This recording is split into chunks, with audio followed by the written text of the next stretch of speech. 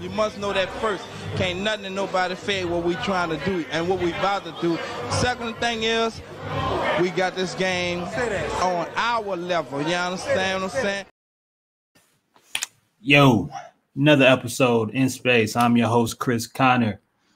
Y'all see our sponsorships below DraftKings Sportsbook, home of the five for the 150. As always, y'all tap in, use that promo code BOOT if you have not signed up yet. Have somebody in your family, uncle, auntie, son, brother, mother, dog.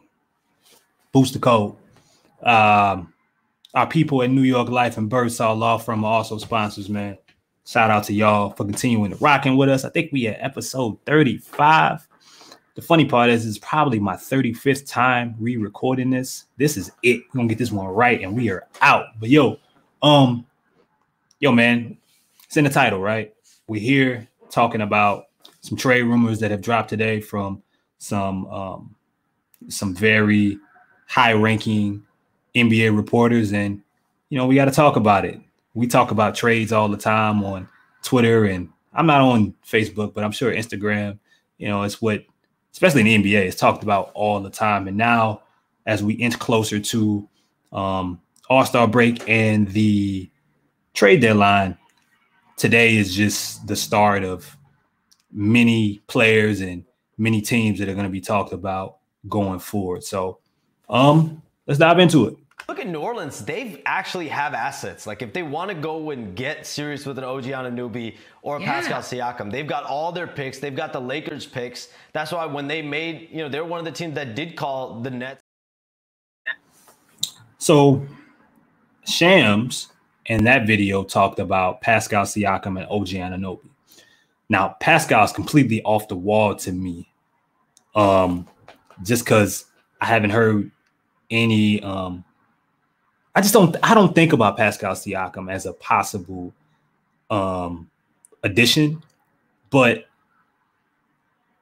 Chaz talked about him. Y'all talk about this guy. Hold on. Shout out to Scoop talking about OG again and Gary Trent. We're gonna we're gonna get to OG, but before I do that, hold up. Hold up, hold up, hold up. If you think I'm here to play around with y'all, God damn it on that. All right. Yo, whether y'all like his content, whether y'all like his videos or not, whether um, you seem to be a fan of somebody you've never met. Chaz talked about Gary Trent Jr. in October.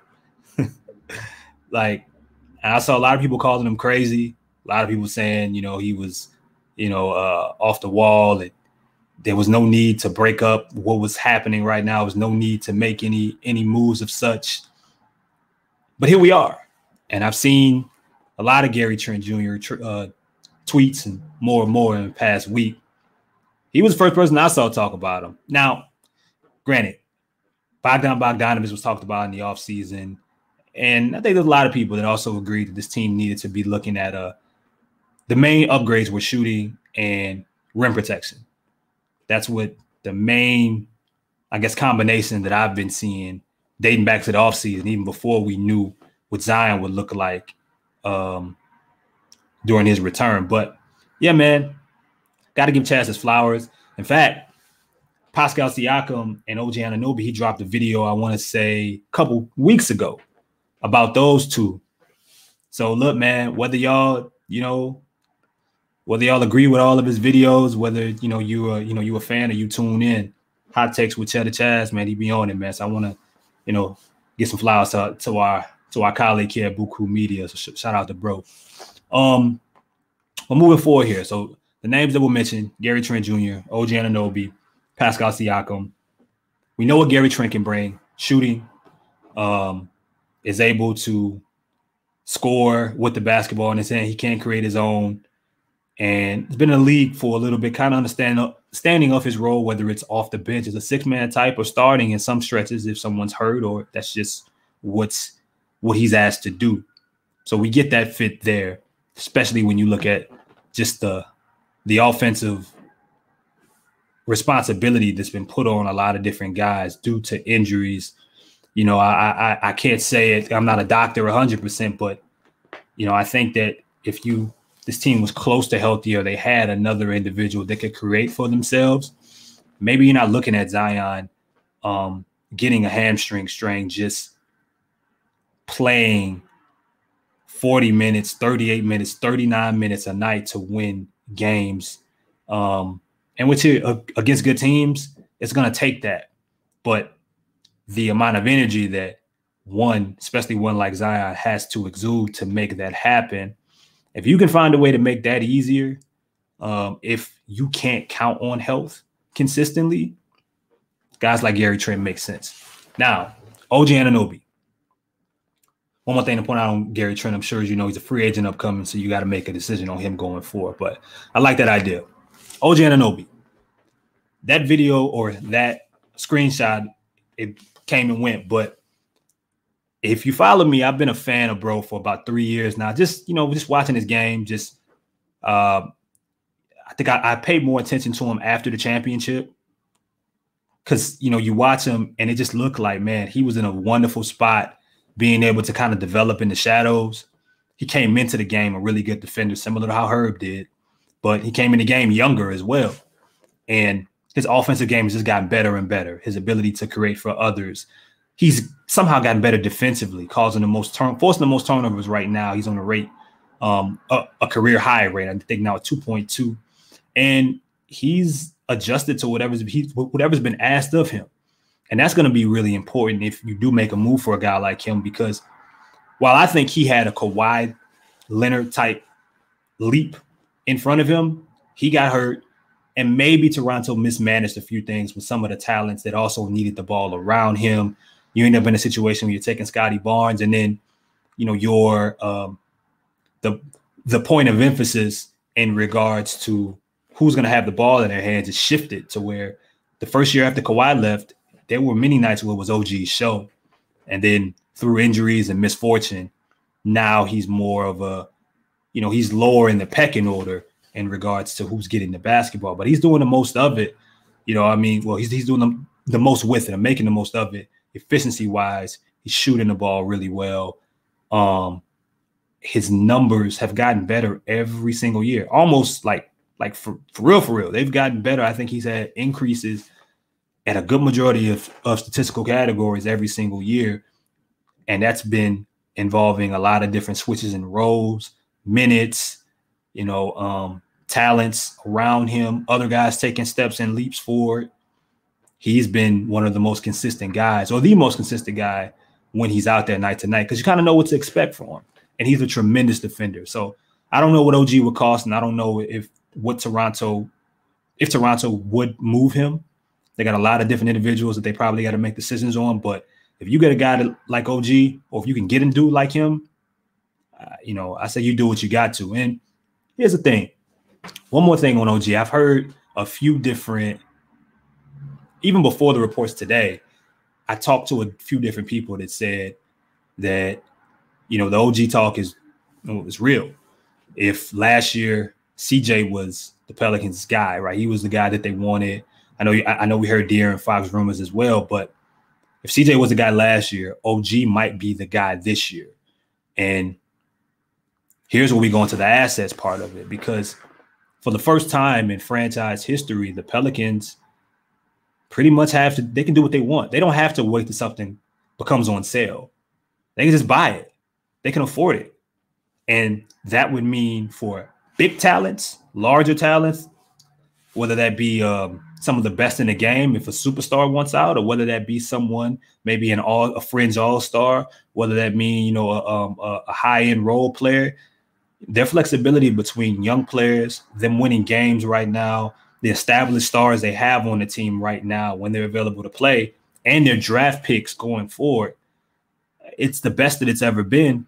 And from a draft, from a from an asset chest treasure chest wise, I don't know if there's a team that has more to offer than the Pelicans right now. If they if they want an individual and want to put their best offer on the table, um, and in some cases, they may still have the leverage, even though a team knows that they have extra to give you know, um, it's gonna be interesting to see how this how this plays out because we've never seen this franchise. If you've been here, whether you you've been a fan of five years, ten years, or you date back to 02, I don't think you've ever seen a team of the franchise in this shape to where they can just wake up one day and decide they want to trade for somebody, and they can probably get them.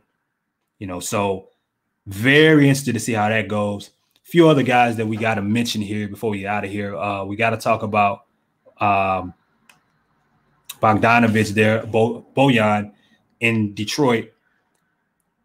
We talked about him a lot in the offseason in Utah being a guy that you can probably get for cheap. I think he ended up going for a couple seconds, if I'm correct. But listen, he's 33 years old.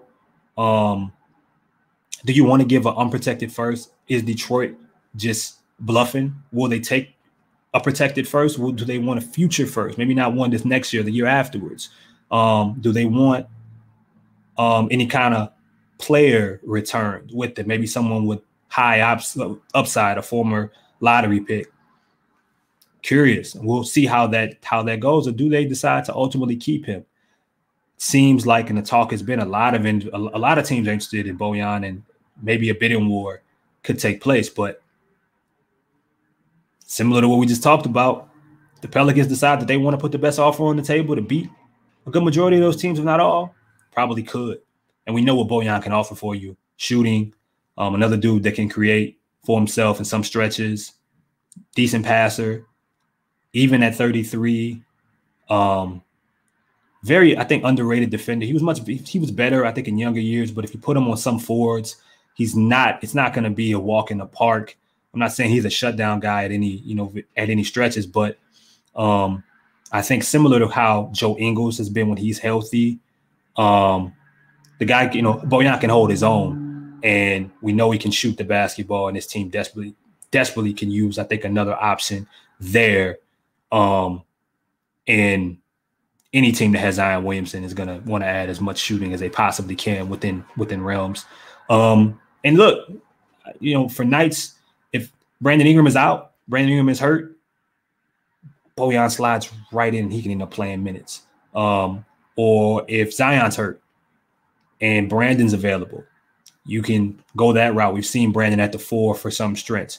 Bojan's played the four some nights here in Utah. I've seen Bojan play the shooting guard percentage. You can uh, position. You can do a lot with him, and I think the overall roster flexibility that this team has been trying to put together, he's another guy that fits that. So we'll see how that ends. Two other guys I, I want to talk about are Malik Beasley and um, Naz Reid. Now, former teammates, Malik's in Utah, Naz is in uh, Minnesota now. Um, Malik's a guy who can, you know, solid shooter, can create for his own. Kind of one of those microwave types off the bench, help score. This team could use that. They could use someone that could pull up 15 points in a quick in a hurry to give some of your main guys a rest. And look, a lot of this is still based off the fact that um, if individuals are going to be in and out of the lineup, you got to continue to build around them. You got to end up, you got to continue to build around a team that you're not sure about health wise for an 82 game season. And then Naz, if I had to tell you the biggest or my biggest one the offseason, along with so many other individuals, shout out to David Grubb, Five talked about it a lot, Lido, Chaz, all of us at Boot Krewe Media, Justin, Ross. Um, we talked about another big being being added um, rim protector was the was the prototype, and I don't I wouldn't necessarily call Naz that, but he's an upgrade. And even if he's not a your traditional rim protector, 6'9, 260, um, not gonna block a whole bunch of shots necessarily. He plays so hard, man, and he can offer you things on the other side of the floor as well. Decent shooter, can handle the ball for his size has improved his passing, and knows his role, not going to get in the way of anyone else's. And that's what's interesting, most interesting about the players that have been named that intrigue me the most. Also, Naz Reid's nickname is Big Jelly, which is crazy. Malik Beasley's nickname is the Mutant. I don't know where people get these nicknames from, but it's unbelievable. But yeah, man, um, that's what makes me most interested in guys like OG, Bogdan, Naz Reid, and company, Malik Beasley. These guys have played in a league to where they know their role. Like, and no matter what team they go to, teams can plug them right in immediately and say, well, you're not going to be doing much different from what you did in everywhere else. Maybe some nights we'll ask, ask you to do more, but we want you to, we're bringing you in to do what you're comfortable with. And that benefits everybody. And I think players that you bring in like that, you know, versus maybe some younger talents that are still trying to figure out who they are as individuals. Uh, OG Anunoby is very interesting because I still think he can be a he can be a, a, star in this league. And at some point, he may be tired of just wanting to fit in as a role player. He may want to pursue being a higher option on a team, a bigger priority, um, than versus just a really high end two way guy who can um, kind of be the man some nights. He may want that responsibility more nights than not again. So, but good majority, but even OG, they've all been a part of teams that have put them in certain kind of roles and have asked them to be themselves for better or for worse. And I think that's what you want to add. That's what the Pelicans have for the most part currently right now. There's there's some there's some parts that are out of that are out of place, but if you can add more individuals that upgrade your talent because remember guys i mean you can't forget. It's all about athletes and athletics. We controlling this shit and that's how we feel from the heart.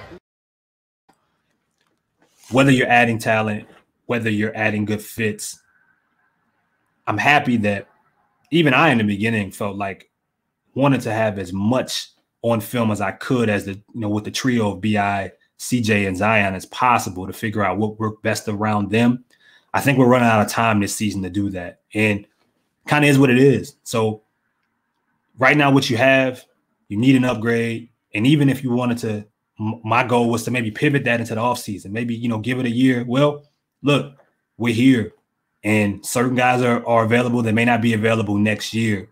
Make the move.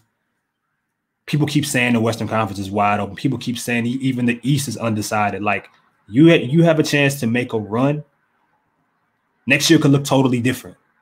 Do it now. Doesn't mean you have to be desperate, but make it happen.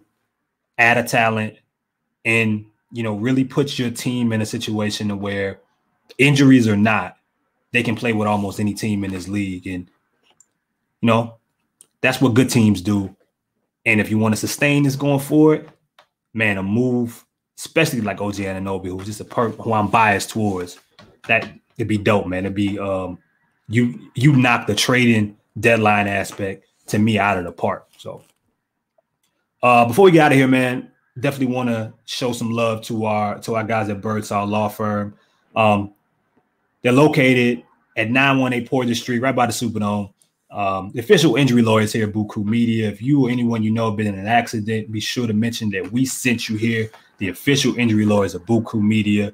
Appreciate y'all tapping with everything that we got going on here at Boot Krewe. And you know how we get out of here. In the building. I told you last time, get with us or get out of here.